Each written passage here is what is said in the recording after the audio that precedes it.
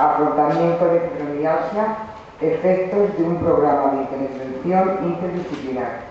En la ponente es nuestra querida Cecilia Peñacova, eh, doctorada en psicología, profesora titular especialista en fibromialgia y responsable de la unidad interdisciplinar de fibromialgia de la Universidad Rey Juan Carlos. Gracias, Cecilia. Gracias a vosotros.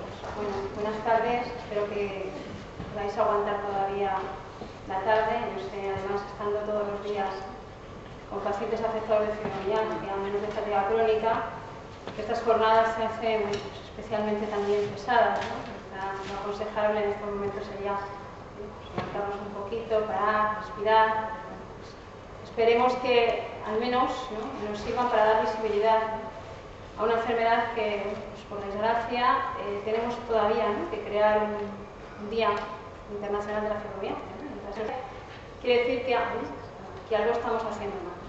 En fin.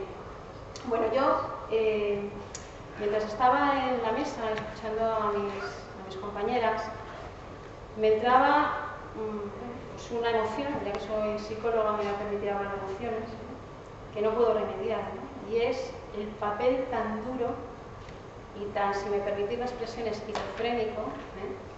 Que toca jugar a un paciente que tiene este tipo de patologías. O sea, que una persona que venga peinada, bien peinada, eh, haga dudar a un profesional sanitario de si tiene o no determinada enfermedad, me parece tan duro. Entonces, ¿qué ocurre con nosotros que desde la terapia cognitivo-conductual científica que os comentaré, precisamente lo que hacemos es trabajar la emoción positiva en los pacientes? Precisamente les decimos que pese a que existe un potencial negativo que la enfermedad minora en todos nosotros, tenemos afortunadamente unos recursos que no debemos esconder. Entonces, ¿qué sensación? Es decir, es como si por un lado fuera lo judicial, por otro lado lo psicológico, ¿y dónde está el paciente? Estamos troceando y uno ya no sabe ni cómo tiene que comportarse. Es realmente. Bueno, eh, quería exponeros varias cosas, eh, pero voy a tratar de no, de tampoco demasiado y, no cantar. Pero sí que creo que hay algunas cosas que es importante que reflexionemos en estos foros. Yo eh, creo que, es un motivo de orgullo también el hecho de que eh, se organicen estas jornadas y, por supuesto, como el resto de mis compañeras de mesa, quiero agradecer a, las entidades organizadoras este tipo de iniciativas. Yo inicié el camino de la fibromialgia hace 10 años con la concesión del proyecto de investigación del Ministerio de Educación y Ciencia, que era extrañísimo en aquellos tiempos dotaran de dinero para investigar algo como la fibromialgia, que empezaba a sonar pero que todavía no hacía mucho ruido. Y a partir de ahí, pues realmente me ha apasionado tanto el tema eh, que no he dejado de trabajar sobre sus aspectos, tanto a nivel de investigación como a nivel clínico. Yo soy profesora en la Facultad de Ciencias de la Salud, vengo de la Autónoma, anteriormente yo estaba en la Facultad de Psicología y las cosas cambian mucho. Cuando tú llegas a una Facultad de Ciencias de la Salud, tienes la oportunidad de trabajar con médicos, con fisioterapeutas, y entiendes lo importante que es el modelo biopsicosocial, ese modelo del que tanto se presume. Desde luego, con todos mis respetos, no hablar de la OMS, desde mi punto de vista, os digo, es, absolutamente erróneo. Y yo creo que ese es el futuro. ¿Qué ocurre con la fibromialgia? Yo hablo en particular de la fibromialgia porque he trabajado menos la fatiga crónica, tuvimos nada un proyecto bonito y en cambio en fibromialgia hemos trabajado más. Pues el problema de la fibromialgia es que no se acopla a un modelo médico pero claro, no tenemos que cambiar los enfermos, lo que tendrá que cambiar es el médico tradicional. Usted, si sus pruebas convencionales, sus pruebas biomédicas no confirman lo que tengo, pues el problema está en las pruebas biomédicas, no va a estar en mí como paciente. Voy a crear indicadores clínicos, ¿eh? inmunológicos o radiológicos que no tengo. Entonces, bueno, yo creo que, esa es la clave. ¿Qué está ocurriendo? Bueno, lo comentaba anteriormente con el tema del cambio de, de las generaciones en medicina en otra era más. Y claro, yo que trabajo con médicos, cuando yo llegué a la Facultad de Ciencias de la Salud, el encargo que me hicieron fue directamente, bueno, tú forma un poquito a los profesionales para que hablen bien con el paciente, le traten bien, ¿no? sean empáticos. Y yo decía, no, es que yo creo que la psicología tiene algo más que hacer. ¿no? La psicología tiene un papel importantísimo en la etiología y en el pronóstico de determinadas enfermedades. Y eso es lo que os quiero comentar aquí y sobre eso es sobre lo que quiero reflexionar. Yo creo que como todas las, las patologías, ahí os pongo algunas de las intervenciones más eficaces en fibromialgia, pero como en el resto de las disciplinas, la psicología también ha dado bueno, pues, caminos erróneos. En los años 80, por ejemplo, es cuando los psicólogos se empezaron a interesar por la fibromialgia. ¿Por qué? Pues porque era una enfermedad muy interesante para un psicólogo. No había patología orgánica y por lo tanto lo más obvio era pensar que la etiología, y ojo con la palabra, la causa de la enfermedad podía ser psicológica. Y ahí comenzaron las primeras teorías que hicieron mucho daño, tanto a la psicología como al enfermo de fibromialgia, al menos yo así lo considero. ¿Por qué mucho daño?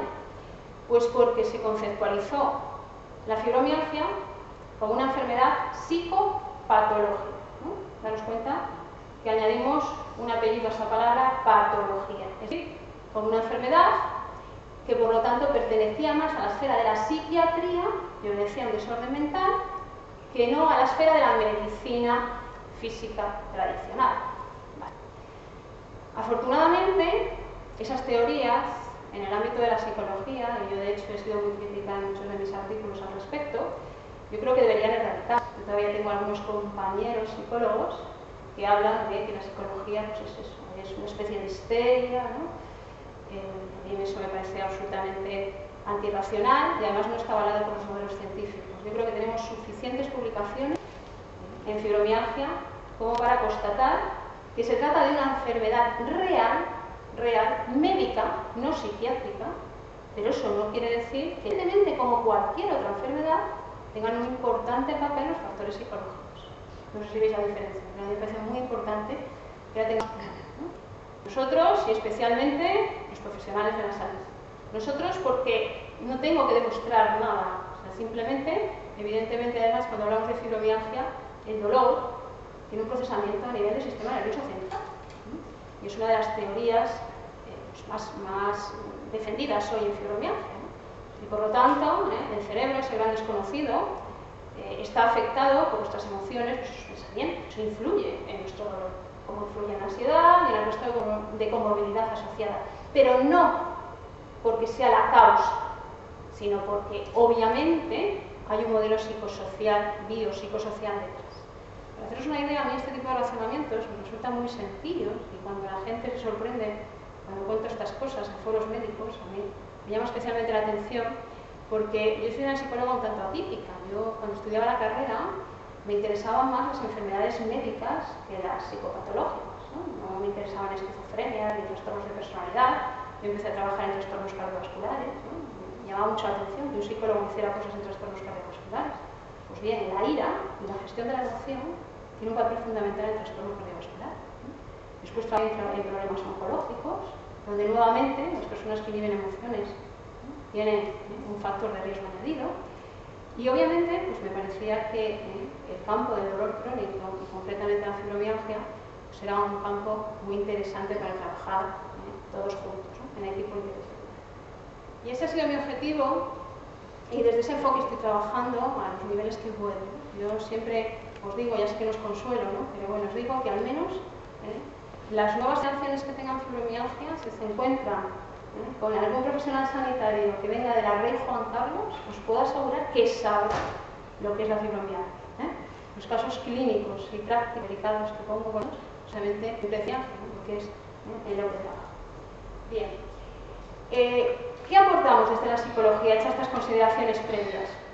Pues realmente la literatura científica eh, pone de manifiesto que por encima incluso del tratamiento farmacológico que simplemente alivia en muchas ocasiones síntomas y por los efectos secundarios que tiene y que además es más apropiado en los brotes agudos, la terapia más adecuada es aquella interdisciplinar que combina fundamentalmente dos elementos básicos. Lo que se denomina terapia cognitivo-conductual, que ahora os comentaré un poquito en qué consiste, y el ejercicio